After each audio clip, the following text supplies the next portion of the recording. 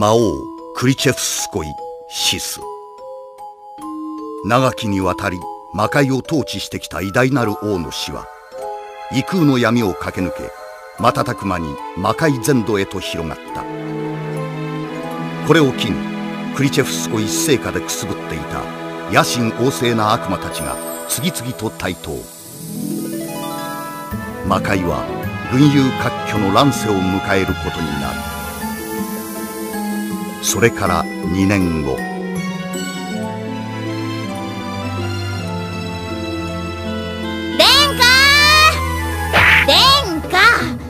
起きてください！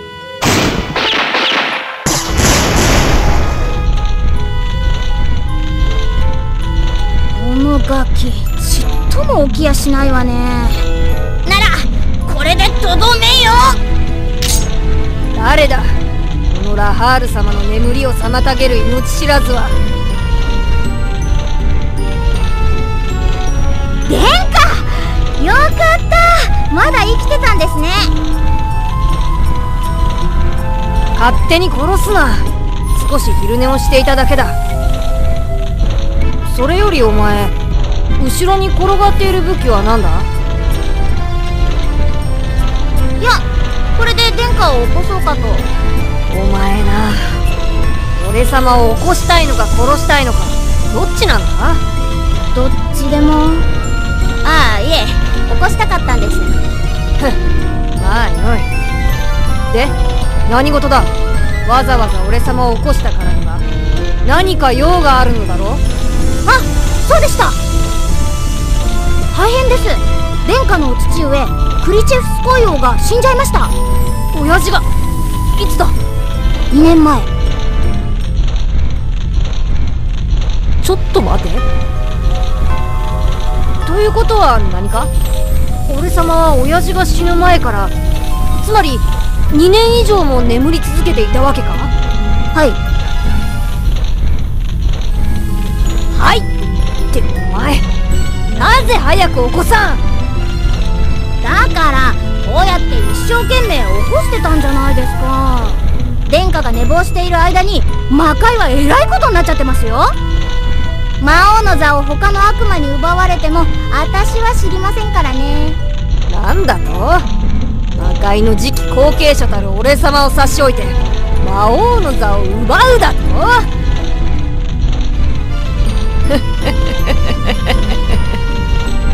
良い度胸だ。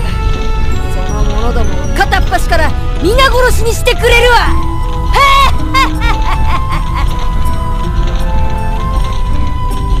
はい殿下この絵と名もお供させていただきます。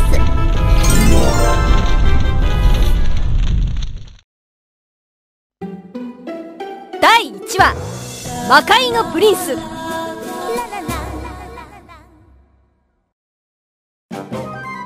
さて久しぶりに軽く一暴れしておくか。体がなまっているかもしれんからな。あ殿下。手頃な相手がいましたよ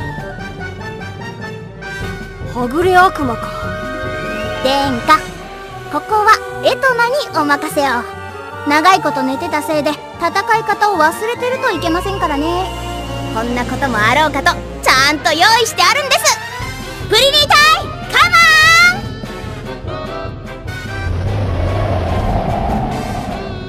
ン！出てこいっつ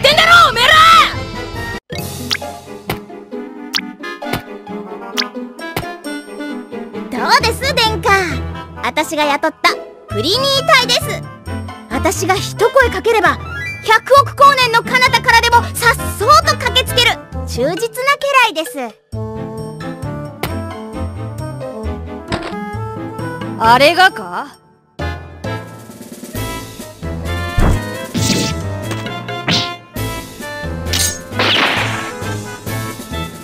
ほら忠実でしょ？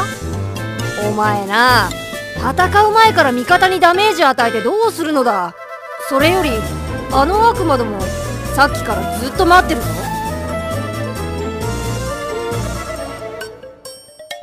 あ本当だ。わざわざ待っててくれるなんて律儀な悪魔もいたもんですね。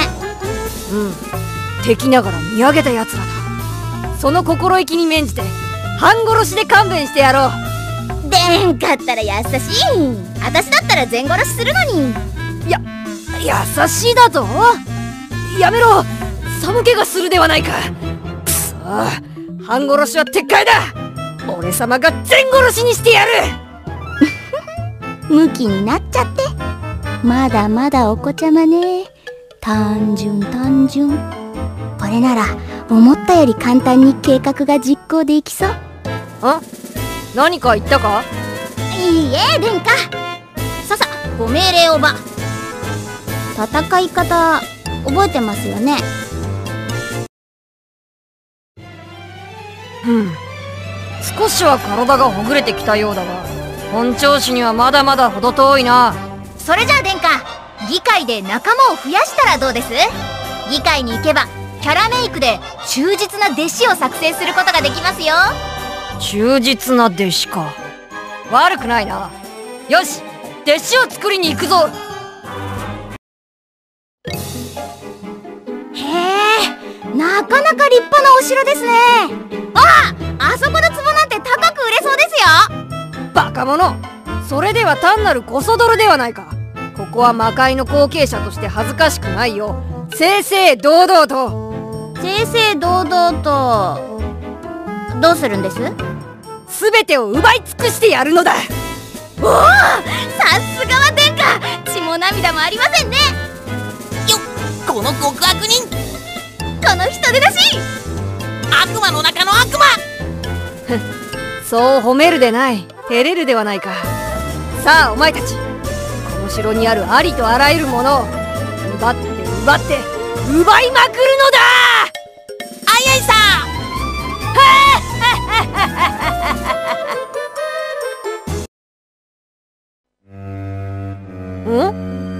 行き止まりか？はあ！はははは何者だ？勝手に人の城に侵入しておいて何者だとはとんだ礼儀知らずですね。ですがその度胸には敬意を表してあげましょう。パワーストップ！決まりましたね。私の名はバイアス。この城の主ですバイアス？確か魔王の座を狙う連中を次々と倒している悪魔の名前が。ウィーその通りです。美しきマドモアゼ美と強さをこよなく愛する貴族。ビューティー男爵バイアスとは。この私のことです。ところでそこの少年よ。今は亡きクリチェフスコイ王のご子息とお見受けしました。いかにも魔界の後継者ラハールとはこの俺様のことだ。魔界の後継者？は それはもはや過去のこと。あなたはすでに忘れられた存在。現に多くの悪魔が魔王の座を狙い毎日のように争いを繰り返しているのですよ。それがどうした？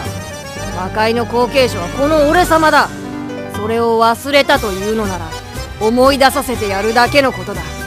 なるほど。それで私の実力をいち早く見抜き奇襲を仕掛けてきたというわけですか。その慶願さすが魔王クリチェフスコイの忘れがたみですね。お前のことなど知らん。ここへ来たのはただの偶然だ。お前なんか俺様が魔王になるための踏み台に過ぎんどんな悪魔も一目置く。このビューティー男爵バイア。お前の名前などどうでもいい。ただの中ボスで十分だ。ちょちょ中ボスですとあれま彼のプライドを傷つけちゃったみたいですよ。許しません。許しませんよ！ふん。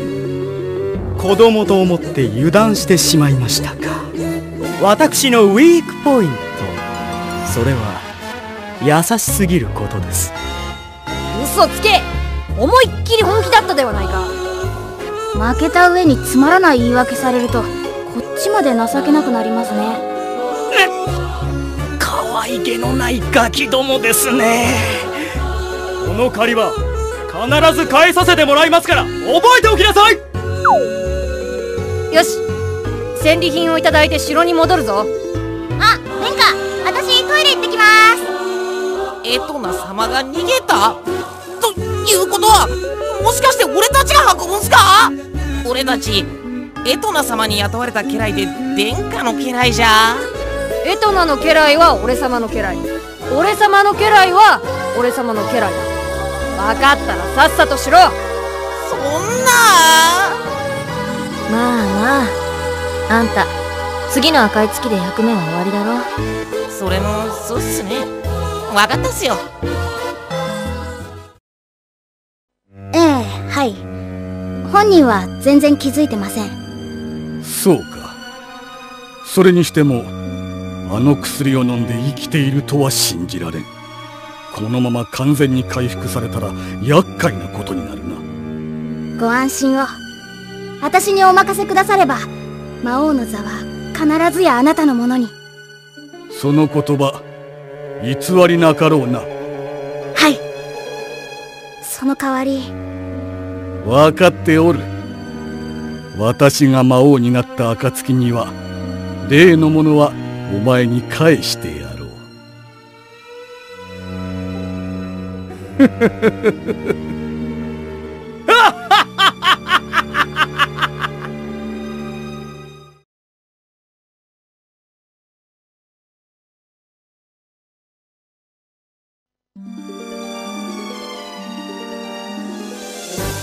悪逆非道の限りを尽くしてきたラハール殿下にとうとう正義の鉄槌が下る時が来た。おい。そして亡き殿下の意志を継ぎ魔王の地位につく決意をするけなげなエトナ。人を勝手に殺すな。さよなら殿下。殿下の財産や権力は全てエトナがいただきます。とんでもない女だな。次回超時空美少女悪魔エトナ第2話女王エトナ誕生。魔界の闇に美少女が舞う。この大嘘つきめ。